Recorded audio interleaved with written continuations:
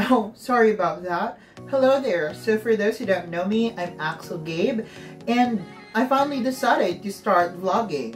Um, I mean, why not, right? But mainly because I want to create a safe space for everybody where we could talk about various things that are of my interest and possibly your interest too because you're on my channel, right? So we're going to talk about things that would range from fashion, food, lifestyle, health, beauty, adulting, and skincare. Yes, tama po kayo.